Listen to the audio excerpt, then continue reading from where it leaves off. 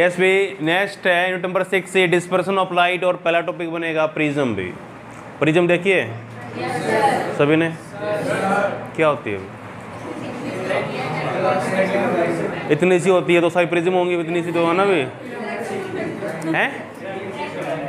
Rectangular triangular pyramid है। कुछ भी? ठीक है। प्रिज्म्स क्या होते हैं? देखिए अभी क्लास प्रिज्म के अंदर तीन रेक्टेंगुलर फेस होते हैं अभी, और टू ट्रेंगुलर फेसेस होते हैं अभी। पता है? Three rectangular faces and two triangular faces भी प्रिज्म एक डिवाइस है जो डिस्पर्सन लाइट को शो करता है डिस्पर्सन बताएँगे आगे आप आपको। जब वाइट लाइट पास करती है प्रिज्म से it split into seven colours पे प्रिज्म होती क्या अभी? अपने कॉपी देखी ना ऐसे? कॉपी रख दो भी। कॉपी ऐसे करके। तो प्रिज्म का ये पार्ट है अभी क्लास आपने प्रिज्म देखी हो तो ऐसा कुछ बनाया जाता है अभी। ऐसे बनाते हैं? हाँ बना रहे हैं।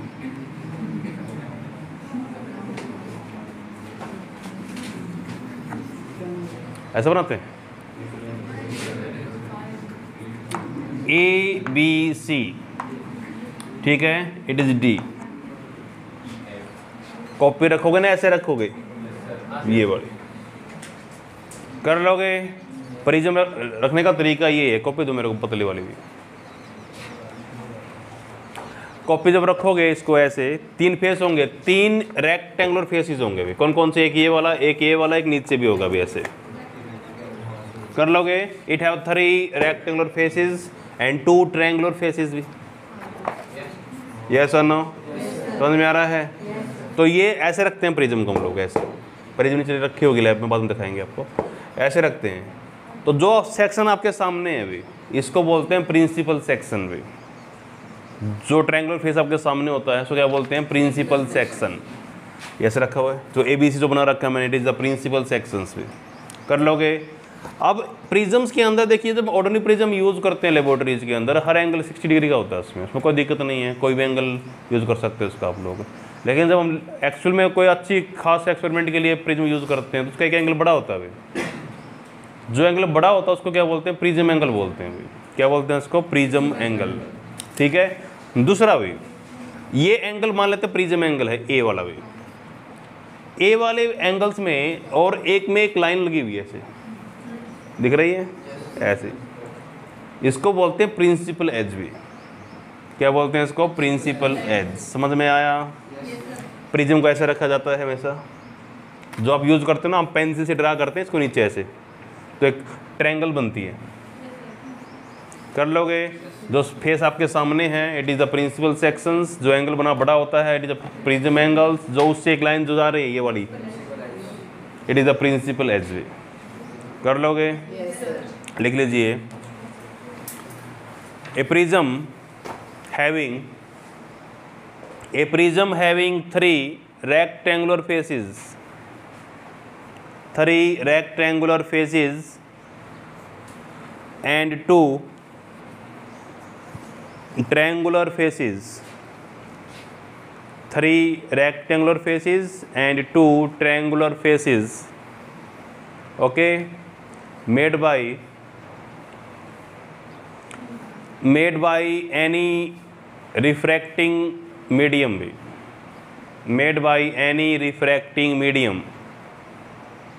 Okay? बताएँगे इसको भी आगे चल के क्या मीनिंग है इस बात का।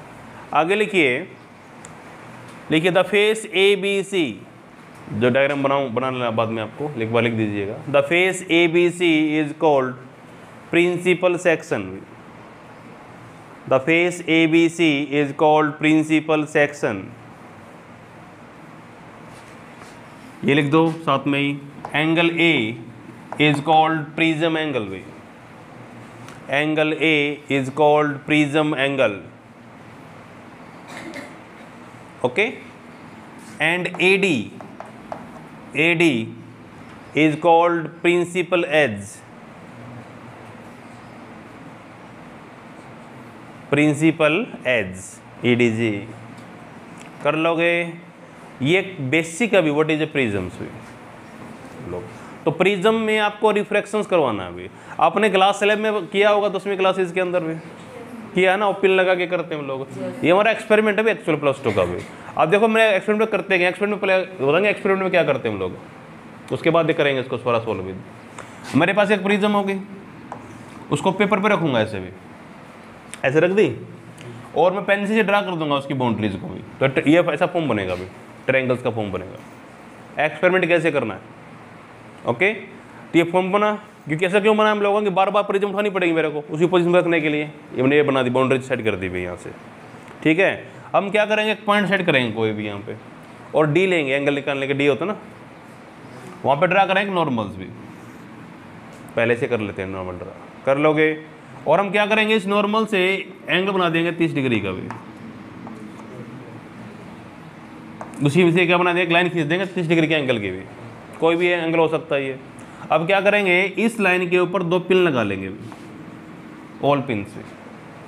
ठीक है? और प्रिज्म को वापस रखेंगे फिर इसके ऊपर बाउंड्रीज के ऊपर।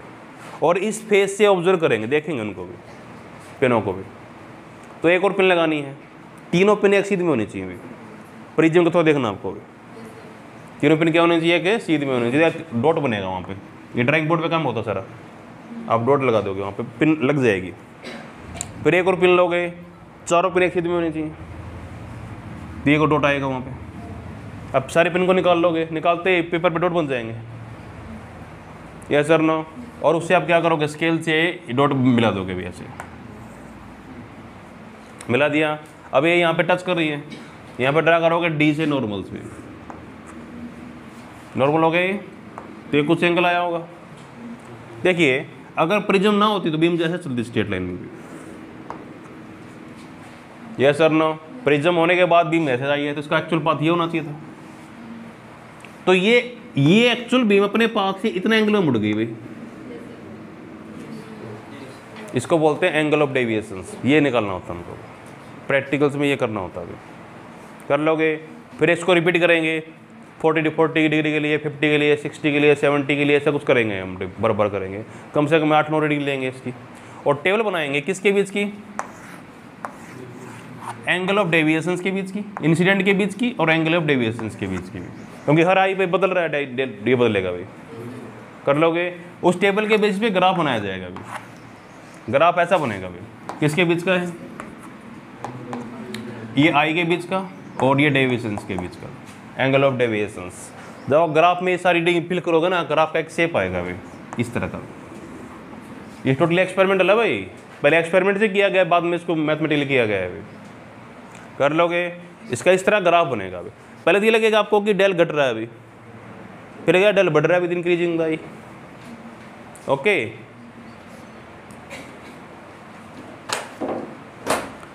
फिर हम एक पॉइंट चेक करेंगे। देखो यहाँ का एक पॉइंट आ रहा है अभी। ये पॉइंट शो कर रहा है, खास एंसिडेंट एंगल पे डेल की वैल्यू सबसे कम हमें। सबसे कम वैल्यू है डेल की। सबसे कम मुड़ी है यहाँ पे बीम्स कर लोगे?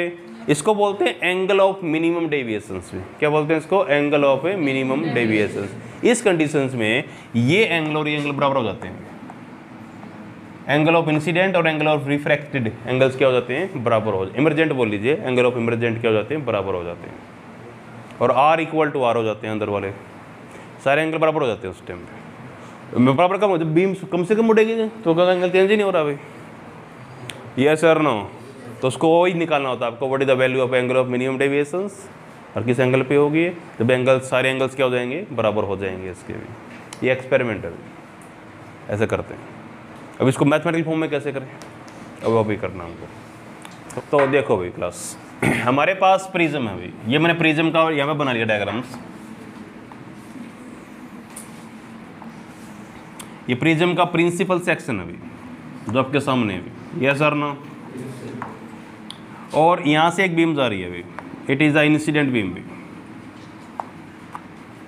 यहाँ पे ड्रा करते हैं एक नॉर्मल्स भी। किस फेस पे आएगा। इट इज़ नॉर्मल कर लोगे? रूल्स के अकॉर्डिंग बीम क्या कर रही है? रेयर से डेंसर में जा रही है। तो it bend towards the normals भी तो कैसे मुड़ेगी?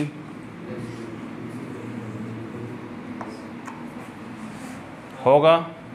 नॉर्मल से ऐसे है भाई क्लास ये ऐसे जाना चाहिए तो इस bend towards the normal भी समझ में आई बात है? फिर यहाँ पे कुछ हो रहा है। लाइट ट्रेवल कर रही है डेंसर से रेयर में। तो नॉर्मल ड्रा करें यहाँ पे। It bend away from the normals it bend away from the normal इस एंगल को बोलते हैं इंसिडेंट एंगल्स भी। इसको मैं आई ले लूँ। नॉर्मल को यहाँ पे ले जाएँ। ये क्या होगा? डायग्राम ढंग का बनाना पड़ेगा भाई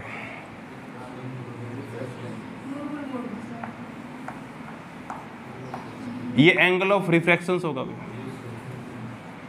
किसके बीच का है? नॉर्मल के बीच का और रिफ्रैक्शंस के बीच का।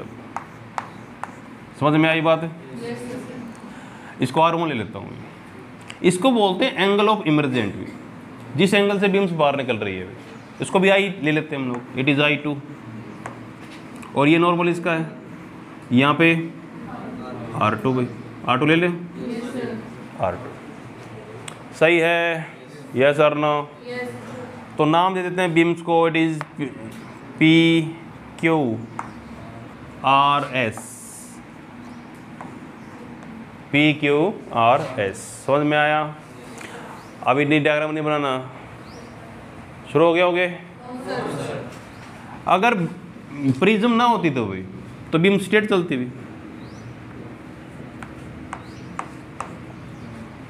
यस सर नो अभी होने के बाद एंगल्स मुड़ चुकी है। कितना मुड़ चुकी है भाई ये एंगल निकालना हमको। It is del angle of deviation सही है? Yes, तो P Q R S it is M it is N ये एन कौन है? दो नॉर्मल्स के बीच का एंगल है। समझ में आई बातें? डायग्राम बनाओ। ये जो एंगल है भाई इसको मैं एंगल वन मान लूँ भाई और ये एंगल टू है। बना लिए? Yes, अगर आप ढंग से चेक करो ट्रायंगल्स को इन द ट्रायंगल्स देखो मेन काम क्या डेल निकालना है, सीधी सी बात है। देखो इसके दो पार्ट बना लीजिए, इसका पहला पार्ट लिख रहा हूँ एंगल ऑफ़ डेविएशन निकालना लिख लीजिए एंगल ऑफ़ डेविएशन पहला जो हम तीन नंबर में पूछा जाएगा आपसे क्वेश्चन एंगल ऑफ़ डेविएशन का पूछा जाएगा। डेल के बारे में बताना आपको। लिख दो डेल क्या है? डेल ब्रैकेट में डेल है भाई। एंगल ऑफ़ डेविएशंस डेल निकालना मेरे को पहले तो। ठीक है? इसके लिए ट्रैंगल्स यूज़ कर रहा हूँ। In the triangles M Q P दिखाई दे रही है? In the triangles M Q P देखो भाई sorry M Q R in the triangles M Q R M Q R दिख रहा है ट्रैंगल्स इस ट्रैंगल्स के अंदर आउट ट्रैंगल कौन सा है? डेल इज़ आउटर एंगल्स भी। सबको डेली निकालना है। डेल बराबर है कितना आएगा? Angle one plus angle two भी। Angle one plus angle two yes और नो अगर आप ढंग से देखो एंगल वन किसके बराबर है अभी? देखो ट्रेंगल देखिए अभी। ये लाइन जा रही है। ये लाइन जा रही है अभी। ये आई तो पूरा एंगल आई होना चाहिए अभी। यस और नो ये पूरा एंगल कितना है? आई आई किसके बराबर है? Angle one plus R one के बराबर है। तो एंगल वन किसके बराबर होगा? तो लिख दो angle one is equal to I one minus R one भी। I one minus R one समझ में आ रहा है कि नहीं आ रहा? सिमिलरली यहाँ पे हो रहा है आई टू ये पूरा एंगल कितना है? कंप्लीट एंगल आई टू इसका अपोजिट एंगल है भाई. तो आई टू किसके बराबर होगा? Angle two plus R two angle two plus R two तो angle two is equal to I two minus R two भी यहाँ तक कोई डाउट है किसी को? दिख रहा है? नहीं दिख रहा? क्यों? अच्छा। तो इसमें रख देते हैं अभी। पुटिंग द फ़र्स्ट इक्वेशन भी। Putting in the first equation del is equal to angle one is equal to I one minus R one plus I two minus R two सही लिखा मैंने? तो डेल का वैल्यू हुआ मैंने I को इकट्ठा कर लेता हूँ। I one plus I two minus common निकाल लेते हूँ। R one plus R two भी। क्या सही लिखा है ये बात? तो मेरा डेल का वैल्यू हुआ del is equal to I one plus I two minus R one plus R two this is the first second equations second equations सही है। अब देखो, हमारा मेन काम रह गया भाई। I one I two R one R two निकालना सीधी सी बात ये है भाई। अब ये निकालने पड़ेंगे मेरे को। तब जाके मेरा डेल निकलेगा भाई। डेल तो आ लिया वैसे तो। अब प्रॉब्लम है कि आई वन आई टू निकाले कैसे भी इसके लिए मैं ट्रैंगल्स यूज़ करता हूँ भाई। जितनी ट्रैंगल्स दिख रही हैं, आपको सारे यूज़ कर लेंगे हम लोग। In the triangles Q N R in the triangle Q N R check करो भाई कौन सी है।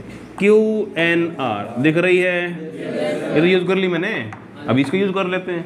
क्यू एन आर किसी भी ट्रैंगल्स के एंगल का सम कितना होता है अभी? 180 तो मैं लिख सकता हूँ angle R one plus angle R two plus angle N equal to 180 अरे सही है कि नहीं? Yes, कर लोगे?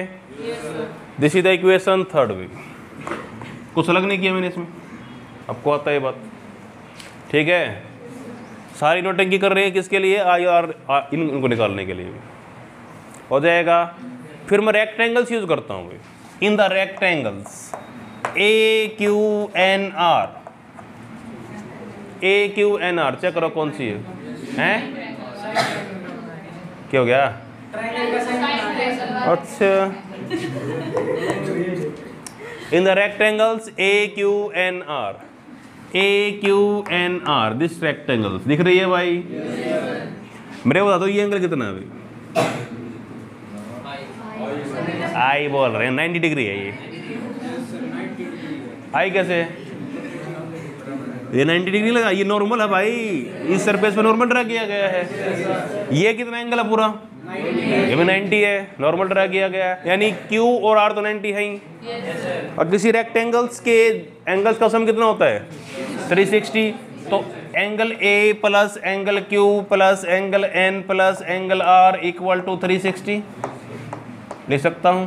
Yes, सही है कि नहीं है? Yes, अब इसमें एंगल ए एंगल क्यू तो 90 है। Plus angle N angle R तो 90 है। इक्वल टू 360 बता दो। वो 90 प्लस 90 180 इस तरफ़ जाएगा माइनस का 180 तो A plus N equal to 180 degree. Equation number four भाई। सही है? Yes, थोड़े लेंथी ज़रूर होगा मेरा टॉपिक लेकिन आसान होगा भाई बुक वाले से। अब इसमें देखिए एंगल सॉरी थर्ड और फोर्थ में किस साइड की बराबर है वैल्यू राइट बराबर हो तो लेफ़्ट बराबर होनी चाहिए? तो लिखिए from third and fourth from third and a fourth हमें angle A plus angle N is equal to angle R one plus R two plus N भी। सही है? अरे सही है कि नहीं है? एन से एन काट दें। तो ए इज़ इक्वल टू कितना हुआ? R one plus R two एक रिलेशन आ गया अभी मेरा। प्रिज्म एंगल निकालने का तरीका भी। कर लोगे? वैसे दिया मिलेगा आपको। दिया मिलेगा तो और भी इजी है। आर वन आर टू निकालना यहाँ से अभी। कर लोगे कि नहीं कर लोगे? अब इसको देखे कैसे अभी। अब देखिए, जब हमने लाइट को एंटर करवाया था, किस पॉइंट के ऊपर? पहले स्टार्ट एंटर कहाँ से हुआ था? पी क्यू पे एंटर हुआ था। क्यू पे हुआ था पहले, है ना? फिर उसके बाद एग्जिट कहाँ पे हुआ था? मीडियम से।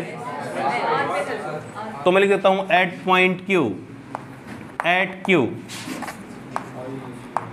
at Q Q पे स्नेल अप्लाई कर सकते हो अकॉर्डिंग टू स्नेल भी अकॉर्डिंग टू स्नेल लॉज क्या था भाई? हैं? Sine I one by sine R one equal to mu of the class जिसका बना हुआ प्रिज्म से. ये बात सही है। अगर एंगल स्मॉल यूज़ करूँ तो? आई आर को छोड़ दो भाई। सॉरी साइन को छोड़ दे। बचेगा क्या इसमें फिर, है ना भाई? कर लोगे? तो what the value of I one भी mu R one mu R one सही है? उसी तरीके से आप सेकेंड पॉइंट पे स्नेल अप्लाई कर सकते हो, जहाँ से एग्जिट कर रही है beams P Q R S at the R again apply Snell law कैसे लिखूँ बताओ जल्दी से मेरे को। तुम्हें पता ही नहीं हो रहा चल रहा है ना? Sine R two by I two तो किसका आएगा म्यू? ग्लास का कि एयर का? हमें एयर का चाहिए नहीं है तो ग्लास का चाहिए उल्टा करो। यस सर नो तो क्या लिखोगे? Sine I two by sine R two equal to mu of the class ये बात समझ में आती है तुम लोगों को? इसका भी एंगल सॉल्व कर दीजिए। तो आई टू बराबर है म्यू आर आर टू भाई। म्यू आर टू समझ में आई बात? है yes, तो कुछ पल्ले पड़ रहा भाई? थोड़ा बहुत हो रहा है जो। मैं कोई टर्म यूज़ नहीं कर रहा एक्स्ट्रा जो आपको नहीं आ रही है अभी मैं बोल रहा हूँ रट्टे मार लेने बातों के ऊपर। इक्वेशन सेकंड कौन सी थी जहाँ पे डेल आ गया था I one plus I two minus mu R one plus R two यही था? Putting in the first second equation भी। Putting in the second equation तो डेल क्या था भाई class I one plus I two what the value of I one I two तो लिख दें mu R one plus mu R two yes sir no और एक बार बाद में कर लेंगे माइनस क्या था? आर वन मान plus R two R one plus R two yes sir no इसको रब कर दूँ भाई? इस तरफ़ वाले को? इक्वल टू म्यू कॉमन है। R one plus R two minus R one plus R two सही है कि नहीं है? अगर आपको याद हो ढंग से याद हो, मैंने अभी लिखा था A is equal to R one plus R two था अभी। अभी प्रूव किया था A is equal to R one plus A R two putting the values भी। Mu A minus A del is equal to mu minus one into A this is the angle of deviation भी समझ में आया कि नहीं आया? Yes. यहाँ तक टॉपिक है तीन नंबर का भाई वेरी इंपॉर्टेंट फार्मूला भी सेकंड पॉइंट करते हैं भाई बातें नहीं अभी. सेकंड पॉइंट करते हैं प्रिज्म फार्मूला भी इसका. बातें नहीं अभी. प्रिज्म फार्मूला करते हैं देखो कैसे होगा. देखो ये एक्सपेरिमेंट बार बार किया गया अभी. हम तो लैब वर्क कर रहे हैं हम लोग इस पर प्रेजेंटली तो हम लोग लैब वर्क कर रहे होते हैं। और एक्सपेरिमेंट बार बार किया गया, और एक ग्राफ बनाया गया, किसके बीच का? ये डेल के बीच का था, और आई के बीच का भी। क्योंकि आई से ही डेल बदल रहा था भाई सर ना अब इस ग्राफ से ऐसा बना हुए ग्राफ ये इस तरह के। एक खास एंगल ऑफ़ इंसिडेंट के ऊपर डेविएशन की वैल्यू मिनिमम आई भी तो डेल एम ले लेते हैं इसको मैं तो व्हाट इज़ डेल एम यहाँ पर लिख देते हैं ब्रैकेट में भी। एंगल ऑफ़ मिनिमम डेविएशन भी। Angle of a minimum deviations इस पे क्या ऑब्ज़र्व हुआ हमको भी खास पॉइंट क्या हुआ ऑब्ज़र्व कि सारे एंगल बराबर हो गए इस पे भी। कम से कम तो तभी हो सकता है तो क्या ऑब्ज़र्व हुआ? लिख दो, ये ग्राफ बनाइएगा, ज़रूरी है अभी। तो एंगल ऑफ़ मिनिमम डेविएशंस में क्या होगा? जो I1 है और I2 है, वो बराबर हो जाएँगे अभी। ओके और R1 और R2 भी बराबर हो जाएँगे। यानी कुछ तो एंगल होगा भाई क्लास ये भी कुछ एंगल होगा। इट इज़ आर सही है कि नहीं है? जो हम लोगों ने फार्मूले ड्राइव किए हैं, उनमें क्या चेंज होगा भाई? मैं लिखा था एक formula I is A is equal to I one plus I two लिखा था ना भाई? ये क्या बन जाएगा? टू आई आर वन था ये? ये R one plus R two तो क्या हो गया? टू आर तो what is the value of R V A by two yes R no what is the value of A R A by two तो del की value क्या होगी class del हम निकाल चुके थे रब कर दे इसको। डेल इज़ इक्वल टू तो डेल डेल नहीं रहेगा, डेल मिनिमम हो जाएगा भी angle of minimum deviation formula क्या बना था? म्यू माइनस वन इंटू, उसको यूज़ नहीं कर रहे। उससे पहले वाले फार्मूला को यूज़ कर लेते हैं। I one plus I two minus R one plus R two वाले को। यस आर नो फार्मूला क्या था? आई वन प्लस एक बार लिख देता हूँ। I two minus R one plus R two यही था? तो del M is equal to इसको मैं टू आई ले सकता हूँ। Minus two R minus two R या फिर ए भी है वो? ए लिख दो कोई प्रॉब्लम नहीं है उसकी। लिख दो लिख ही देते हैं इसको बाद में तुम हो गए R one plus R two क्या है? ए तो है। ओके क्या आप यहाँ से आई वन निकाल आई निकाल सकते हो? तो क्या आएगा? Del M plus A by two check करो। क्या सही लिखा मैंने? क्या आप स्नेला अप्लाई कर सकते हो किसी भी पॉइंट पे? जहाँ से निकल रही है, वहाँ से निकल रही है। देख लीजिए अकॉर्डिंग टू स्नेला भी अकॉर्डिंग टू स्नेला क्या था? म्यू इज़ इक्वल टू मैं लिख हूँ sine I by sine R भी क्योंकि सारे एंगल बराबर तो हो रहे हैं अभी आई और आर की फॉर्म में सारे।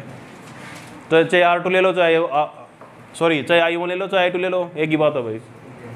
यस आर नो तो आई बाई आर तो putting the value of I and R हमारे पास वैल्यू है अभी अभी इनकी। हम न्यू ही बोलेंगे कि मिनिमम एंगल छोटे एंगल छोड़ देंगे।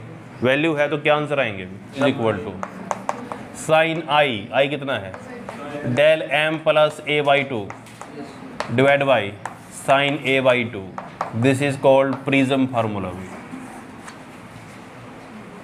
क्या नाम है इसका? प्रिज्म फार्मूला सही है। नेक्स्ट भी करते हैं क्लास डिस्पर्सन ऑफ़ लाइट भी। डिस्पर्सन ऑफ़ लाइट लिखिए। It is a phenomena it is a phenomena of it is a phenomena of splitting of light splitting of light into seven colour into seven colour when it pass through when it pass through the prism भी when it pass through the prism it is a phenomena of splitting of light into seven colour when it pass through the prism भी okay prism से तो light pass करती है भी कौन सी light आनी चाहिए वाइट लाइट भी वाइट लाइट तो इसकी खासियत है it split into seven colours में वो कलर कौन से होते हैं? V I B G Y O R yes और नो तो ऊपर कौन सा होता है यहाँ पे? देख लो। ऊपर कौन सा होता है? रेड नीचे कौन सा होता है? वो ठीक है, इसको बोलते हैं डिस्पर्सन ऑफ़ लाइट भी ये एक्चुअल में स्पेक्ट्रम ऑफ़ वाइट लाइट होता भी मैंने आपको बोला स्पेक्ट्रम क्या होता था? It is redistribution of energy भी। एनर्जी का एक खास पैटर्न में अरेंज करवाना भी। जो रंग है ना, वो किसको दिखाते हैं? एनर्जी की फॉर्मेशन को दिखाते हैं। तो इसलिए बोलते हैं रंग होते नहीं रंग सिर्फ़ किसके फॉर्मेशन है? एनर्जी की फॉर्मेशन से कर लोगे? ठीक है? इसमें थोड़ा सा पॉइंट कर लेते हैं भाई, क्योंकि आपके लेवल में नहीं है, लेकिन एक पॉइंट पे कई बार क्वेश्चन बनते हैं यहाँ पे। चेसी फार्मूला भी। इसी में है भाई।